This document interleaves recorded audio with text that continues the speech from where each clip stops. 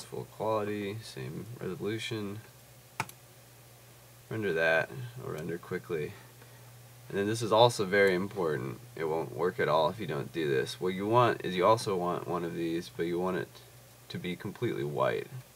So the easiest thing to do for this is I made just a white color that's the exact same resolution and if I shake this away I can plug that into the SwitchMatte instead. And after the quick paint there's the outline of him. Move 2D so that's really nice.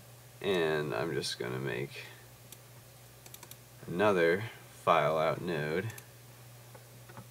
Running Lewis apparate 1 white and what this is, the white will tell it what the density is, so that'll actually create the fluid, and then the colored one will actually just add color to the fluid, so it's not just white smoke puffing up, but it actually looks like they're puffing into smoke. Um, so, set this to a JPEG, and render that file out node 109 through 109.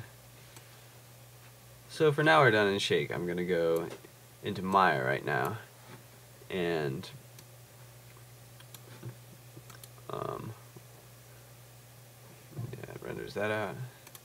Should be both done now.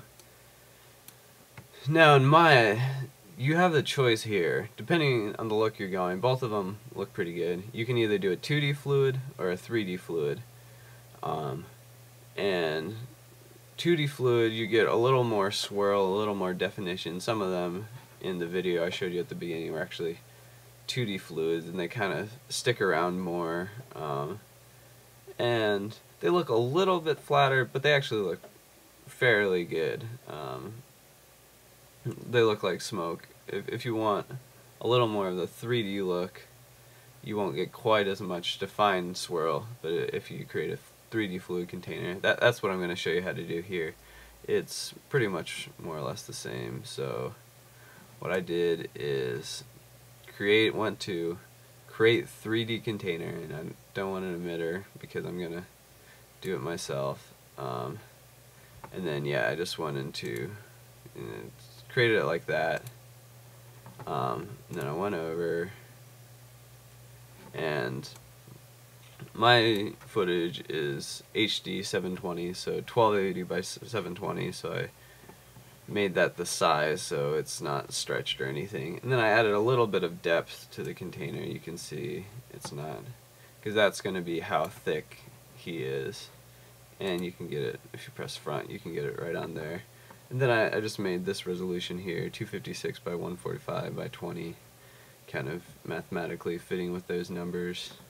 Um, yeah, boundary X, Y, Z, those are good and this was closed originally. Um, yeah, these are good. Density, dynamic grid, velocity, dynamic grid, those are both good. Now, here's an important step. You go to Fluid Effects, Add Edit Contents, Paint Fluids tool. This, uh, this is a pretty cool tool. You can actually paint on the fluids you want. But what else is really cool if you go into your tool set over here paintable attributes. So we want to start with density, so that's going to paint the fluid on there. And we scroll down and we go under attribute maps, we go attribute maps, import. Then we should be able to find our image. And this one we want to do the white one.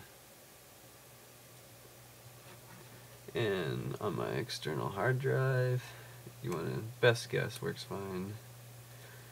Um, and let's see, running Lewis Apparate 1 white is what we want. We want to import that. And give it a second. And you want to hit 5 on the keyboard to go into shaded mode, otherwise you won't be able to see anything. It took me a while to figure that out originally, so once that imports, you want to go into shaded mode and then it should pop up in your container. I don't know, this is taking a bit of time.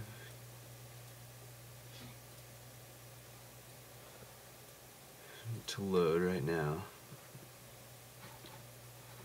But yeah, we hit 5, go into shaded move and mode, and there he is in white. Now we want to go into color. Go dark. We want to import folder, best guess.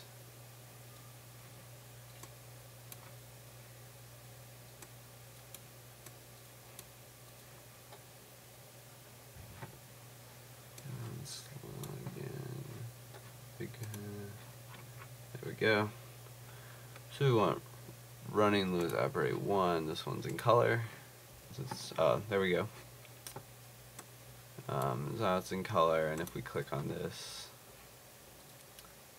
um, I've got the fluid set pretty high, so that's probably affecting the performance. And there we go. We have it in color. I'm going to go back into our attribute editor up here.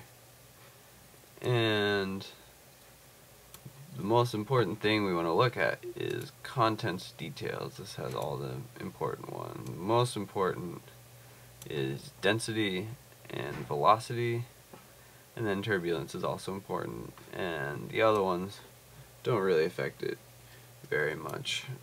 Uh, dynamic simulation, you can affect gravity. I like just having it at 9.8. That works a lot like um, under density. It works a lot like buoyancy. Um, and density scale, that affects how thick your smoke is, but it also kind of puts a black edge around. So you don't really want that once we go into compositing. We want to just leave it at the default because that's how thick the edges were there so we don't have it around the edges. And we don't want any diffusion because that um, give it a second to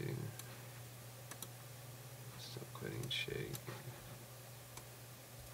um, or dissipation actually will add big lines around the edges um, once it plays. Um, diffusion or no that should be it. Dissipation is how long before the smoke goes away and since it's a 3D it'll go away pretty fast so we don't need to turn that up anymore. Fusion should add things around the edge but we don't want any of that. It looks bad. It's a lot like cranking up the density scale and adds a blur to the edge. Um, and what's really important is swirl with this is what really gives it the smoky thing. It kind of it looks somewhat like smoke without swirl but it's just big chunks. It doesn't really separate out. It kind of puffs up like that. So unless you're going for one big swirl here, which looks alright, but I would say not nearly as good. You want to set swirl, and um, we have to see. I did for a different clip, and I use these settings, so I'll probably want to play blast that and make sure it still looks good for this one. Um, but um, what if you put swirl too high, it'll just all the pixels will separate and you just get this huge blob of pixels out. You can try that. So you, I found the best one is you want to find the highest value where it gives a lot of definition and a lot of swirl, but where it doesn't separate out. Um, because there's a lot easier ways to get that pixel separation look without going into Maya fluids cause, and without longer render times. And turbulence, you don't want that too high. I like having my turbulence fast. I just added a little bit of strength and a little bit of frequency to that um, to switch it up a little bit.